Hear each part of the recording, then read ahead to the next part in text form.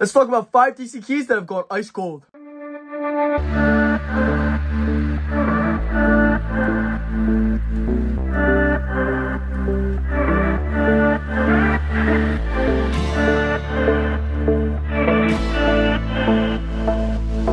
Five books that have dipped in their most recent value. Before we get into it, don't forget to follow me here on Facebook and Instagram for more daily content, but more of that at the end. Here's five books that, you know, I've looked at recently, and I think they've kind of, you know, for whatever reason, they have some importance to them, first appearances, whatever it may be, and I think they've noticed a, uh, a massive dip here, along with the market, of course, but these books, you know, may currently be overlooked a little bit. Let me know down in the comments below what you think of my picks and if you have any other books that you think are super undervalued right now or super cold at least. You know, our first book up here is X Zero number one or Zero number one or whatever you want to call it. I believe it's X Zero. Uh, it was announced back in February of last year. 50 Cent's production company, G Unit, has picked up X Zero and, uh, a little bit of info has been heard since, honestly. I haven't heard a whole lot about it, and with the James Gunn, uh, James Gunn and Safran takeover, all eyes are kind of off the prior announced stuff, uh, prior announced projects. Rumors of a Splinter Snyderverse are speculated, which points to possibilities of Gunn and Safran. They maybe not having, you know, ultimate control over the properties in their contracts. And, you know, with 50 Cent's recent split from Power or from Starz. and uh, he bought a massive 985,000 square foot studio, which is insane to shoot, you know, his productions. As we know, Power will be on there, but possibly X Zero is maybe on a slate somewhere. So who knows? But uh, it's there's not a whole lot of recent sales in this book. Not a lot of graded history either. Uh, with a ton of copies on active listings, this cover is always ticked up with that black and that red. And it can be tough to find those cheap bins not ticked to hell or tough to find really at all. Um, it's, let alone not ticked up. Uh, with only 17 copies in the census, that's a low census count for sure. Especially with something that's been optioned for a little while now. It's something to keep an eye out for. You know, uh, you know, maybe in those cheap bins or catch online auction. You know, a few have gone for you know under ten bucks semi recently. Uh, or you can send it off to the guys that have their $30 copies. Still just kind of sitting there. They're probably sitting on for a while. Hopefully they're not into it too much. They didn't buy it at the height of the market. And uh, so who knows? With the possibility of the show on the way and the massive Studio 50 picked up, I definitely think this is a book to keep an eye out for at the least in the back of your mind. Maybe finding those cheap bins. Uh, and the rest of the series is fun and it's a nice challenge to try and put together in those dollar bins because you don't see them too often. Now, moving on to the next book here, we have Justice League of America number 21. Now, this is a massive key. It's a classic book. This is the first true Silver Experience of the JSA. Now, you're probably thinking, it's Flash 129.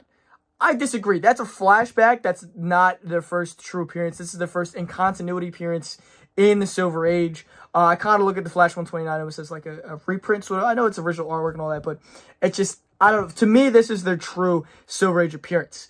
And it is also the first meeting with the JLA, which that's a massive, you know, point in the DC history. It's Green Arrow and Black Canary's first time meeting, uh, and it's also the uh, the first part of Crisis on Earth. So a whole lot of firsts here. It's also on top of all that, the true first Silver Age overall of Hourman, Wizard, Icicle, Doctor Fate, and maybe even the Fiddler. I no Fiddler's in this issue, but I can't remember if he's in anything prior to this in the Silver Age, or if he's just in the Golden Age prior. So I believe it's also uh, Fiddler's first Silver, but it's at least Wizard, Icicle, Hourman, and Dr. Fate's first Silver Age appearance overall, which is pretty cool. Uh, we've seen at least one rendition of this team in live action already with Black Adam, and there was the Supergirl rendition. And the Black Adam actor for Hawkman has talked about how he wants to come back and do more with the character. So hopefully Gunn and Safran have this iconic team on a board somewhere. It's, it's a massive, massive key. It's also second appearance of Chronos the first team up between the two Green Lanterns, Alan Scott and Hal Jordan. There's a lot to this book. This is a big book. Now, a recent Raw sold as low as a hundred bucks. And you know, it's a lower grade copy, but a hundred bucks for a complete attached copy that presents pretty well, that's crazy to me. You know, the most often graded this book at CGC is a 4-5, which recently sold for 160 half of the 2021 average. This is a massive fast book. I know I've said it five times already. But even at a buck 80, you know, which seems to be some of the, the higher end of the low-grade copies go for, with this beautiful Sekowsky cover, Sky cover. Uh, I, am just shocked to see this book on that low end, and it's very affordable at a lower end of mid-grade copy. So this is definitely something to keep an eye out on, because it's definitely, definitely ice cold right now. Now, Batman 307 is a great book. Uh, it's first appearance of Lucius Fox. I talked about this book recently in my $3 haul video. Go check it out from the last week or two if you haven't already. And Mrs. A Motorcycle did a great uh, video on their Instagram page where they stumped some of the fellow dealers in my area and uh, with this book. And I was a little bit disappointed in those guys. I'm not going to lie. Uh, but you know, the most common grade CGC has for this book is a 9.6 because this is one of those books where, you know, guys are really just sending it if they have high grade copies. And it is half the price it was in 2021. And the 9.8 price kind of has basically the same problem, going from 900 something bucks down to 500 something bucks. So roughly half, a little bit over half. Now, this is one you can find for either 3 bucks like I did, or around $10 mark online right now. But for a major Batman character we've seen in live action, we may see again uh, from the late 70s, this book has a lot of room to jump back up. And, you know, check your LCSs, check your local flea markets. So who knows, you might find it in those cheap bins. And it's a great key. I picked one up for three bucks. You know, it's a little bit beat up, but still, it's a great book. And keep an eye out for the Whitman as well. Uh, moving on to the next book here, number four is Static Shock number one. Now, Static is an iconic milestone hero with some expensive keys that aren't really his first appearance. I mean, Rawls, you know, the, those poly bags can, you know, go for $30 range. And the last few issues go for really more than that. This one's at $50, $60, even more than that sometimes. You know, especially if they're nice. You know, those books are always kind of ticked up. And they're just hard to find at all. Uh, you know, his first appearance is you know, arguably major key for 93. And Gunn recently teased the Static's involvement in the upcoming films, which I covered on my YouTube Shorts where I talk about a lot of, you know, new comic news and announcements, stuff like that. Uh, but the 98 is the most often graded scout being, you know, it's a 90s key. But with that poly bag, it can't be tough to get that high grade. Uh, and, you know, that, that real prestige grade. And it's currently under $200, which again, you know, is almost half the 2021 average. That's crazy to me. Uh, this has also got the, the Cohen variant, which is often ticked up, and uh, that newsstand is pretty elusive there. And really elusive is that Platinum variant, which is very expensive. That 98 treatment has only dropped about 100 bucks in, in the two years, and Raw is just 150 200 bucks. They still really haven't changed a whole lot. But that A cover and the variant you can find for even under $30 that's a pretty good buy-in for a classic character that Gunn's already teased he's bringing into live action. Now, moving on to the fifth and final book. This one's a bit of a stretch. But, you know, let me cook here. You all do collector's edition number 56, the iconic Neal Adams wraparound Superman Muhammad Ali issue. What a book. Now, this is one of those treasury editions, so there's no great history on it. But a lot of recent solds. I was shocked to see how many recent solds were on here on this book and especially it's just not something that I wouldn't really want to ship, to be honest with you.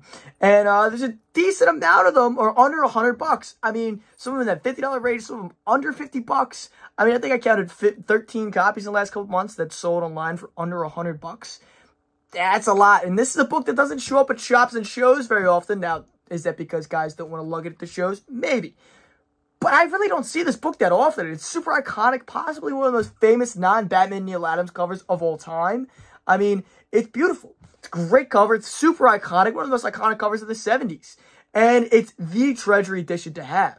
Now, sure, some copies went for more. And, you know, uh, for all kinds of different grades, of course. But, and it's one of those, it's a pain to ship. And as long as it's attached and it's all there and it presents well, that's all you really need with this book. And under 100 bucks for any complete copy seems crazy to me.